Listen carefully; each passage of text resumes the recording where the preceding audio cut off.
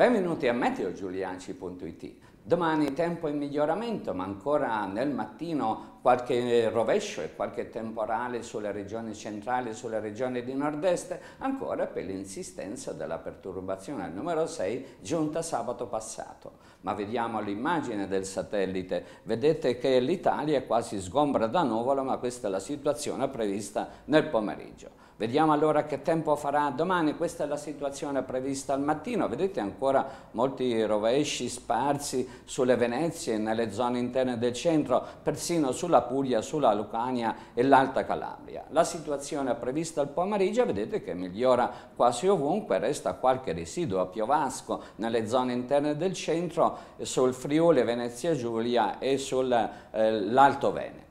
Per quanto riguarda le temperature massime, queste saranno intorno 22-24 gradi al nord, 23-25 al centro, 25-28 al sud, eh, con qualche punta di 30 gradi sulla Sicilia. Bene, termino qui, vi ringrazio per l'ascolto. Ancora un buongiorno.